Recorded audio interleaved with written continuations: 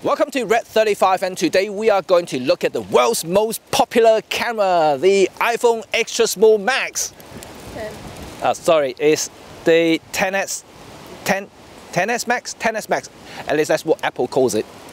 No doubt, you all know it is the world's most popular camera and for great reason.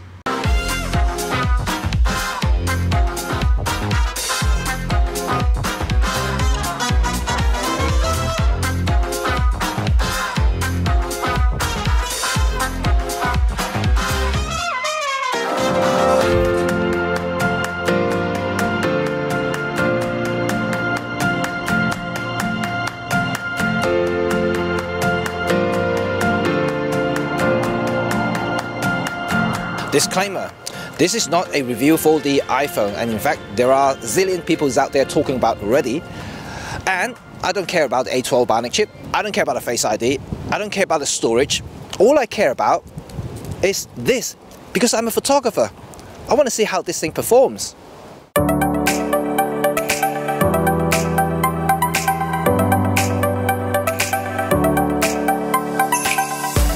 Everyone who have been saving up to get the world's most advanced iPhone 10, you can stop now because you can't get it anymore. Apple has stopped making them. But you can still save up to get the world's most expensive smartphone, the iPhone XS Max. You and me, hey, let's get together now, you'll see hey, just how this life is supposed to be. So let's look at the camera. Uh, well, externally, it looks almost identical. In fact, it looks the same to me. I mean, I, I mean, I don't have a definitive measurement between you know the two, but apparently there are a little bit of differences according to some YouTubers. But for me, it looks exactly the same. And on paper, they also look very, very similar as well. You know, they have the same aperture size for both the the YN and the tele-N, and the focal length hasn't changed at all.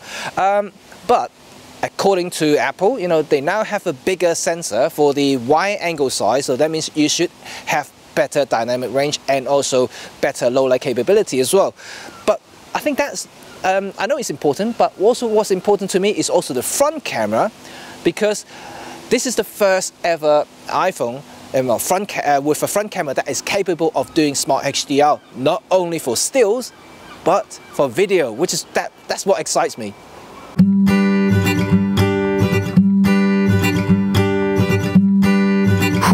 Ever said that's so impossible. That's not supposed to go there. Doesn't know me well. Smart HDR. This is one thing I actually want to talk about in detail.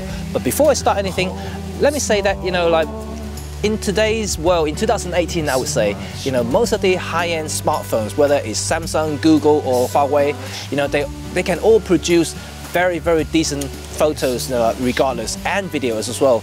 Um, but the Smart HDR on the iPhone actually works really well and compared to last year's iPhone 10 I actually think it's a big step forward. Um, you know, I, although I wasn't going to say about the A12 Bionic chip, you know, because I don't know anything about, you know, computer chips in general, um, but it works, you know, because they did talk about the, the new neural engine which helps the HDR processing. Uh, I can easily say that it, it, you know it really really works for both stills and video. The shadow area has been completely lifted and without too much noise. And also uh, the smart dynamic range you know in video mode it absolutely blow me away especially the front camera. I've been doing some of the vlogging as you can see from my last video um, that I was walking around in Covent Garden. Very high contrast very tricky lighting situation because it was in most of the time the light was behind my head. And uh, and we could still every see everything you know which is brilliant and I had uh, an additional lens on top of it as well and still works fine this is what amazed me, you know, how well the new Neural Engine works with the HDR side of it. Um, so, you know, I think it's a worthwhile upgrade, and which a lot of people may not actually take notice of, but for me, you know, definitely something to shout about.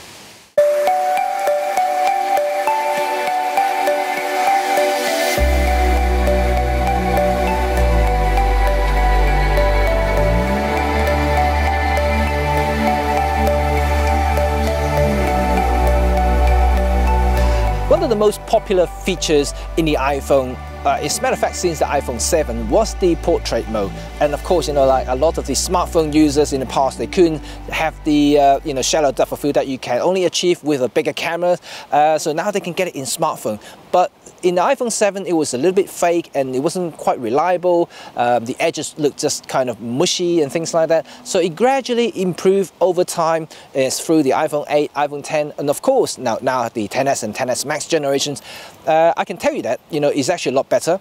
Uh, you know it's more reliable both front and back camera. Uh, it, it, works well and I think it looks great as well. Um, but what's interesting as well now you can control the depth of field effect. Uh, you know I know Samsung had that you know, a couple of years ago, but this is different because it used the uh, depth sensor to, to give you the gradual uh, defocused effect. So it, it looks definitely more natural in the eye. But what's better as well is now you can control the depth of field effect in post. Then you can actually take the shot like what I did just now, and then um, you can actually, uh, in, I mean, by default it's set to 4.5 at the moment, which actually kind of doesn't look like an actual 4.5 in the real camera. It looks more like a F1 actually. Um, but it, it, it, looks kind of weird and fake at the same time because, uh, you know, uh, but if you do ex experience that sort of thing, you can simply just tone down the depth of field. It will actually make it look a lot more natural, and I do mean it because it does look a lot better now. Uh, it, you can almost say that it looks like you're taking from a, a, a bigger camera, uh, not professional camera, but certainly a much better and bigger camera. Um, so that is very good. And I know in the upcoming 12.1 iOS, uh, you can actually change the effect or the depth of field uh, live when you're actually composing the shot, which is brilliant. So you don't have to do it in post, uh, although you can still do it. But then, yeah, you can definitely do it in live so you can actually see and preview everything before you actually take the shot.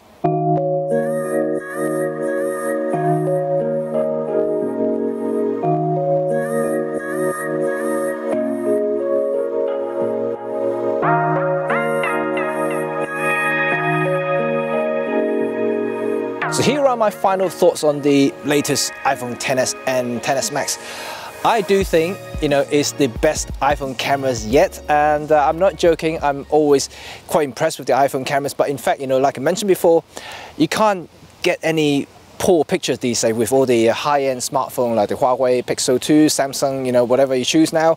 Uh, they're all great, you know, but I, I'm an Apple user, so I can only comment on the iPhone because that's what I've been using for the last 10 years. Um, but yes, it is the best iPhone cameras ever. Uh, I love the Smart HDR, like I mentioned, I rave about it, I would shout about it. There are limitations, however, uh, because the Smart HDR on, uh, in video especially only works with anything that's less than 30 frames per second, whether it's uh, for 4K videos or 1080. Um, this, the, also in the slow, super slow-mo side, you know, the 120 frame or 100, uh, 240 frame per second, um, I do actually notice a sharpness improvement because the previous generations, you find that once you use super slow-mo, even though you shoot at 1080, you find that the, the, um, the footage itself is a little bit soft, um, but this one looks a little bit more natural, so actually it's a good thing. Um, the neural engine works really well with the smart, uh, the, the Smart HDR in the front camera especially, but like I mentioned again, you know, the front camera only ha have limited to 1080 mode as well, so you cannot shoot 4K. So maybe in the future, maybe in the next uh, iPhone uh, 10ss, 10, I, I don't know, XI, X11, I don't know what they're going to call it seriously, you know, it's, it's really getting my head in now. And uh, so, you know, I know it, it, will come one day. So hopefully the front camera will have 4K in the future and that will be my vlogging cameras all day long. That will be it job done.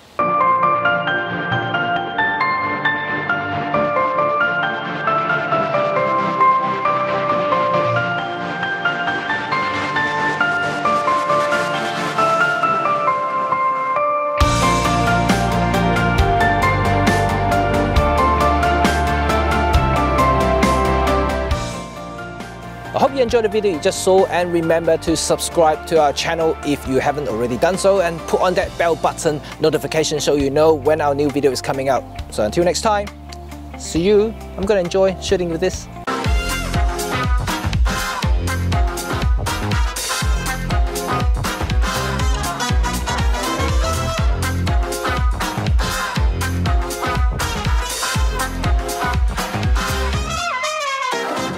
The iPhone Extra Small Max.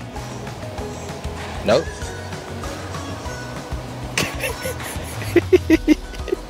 But let me tell you what, you can now save to get save ah save up ah.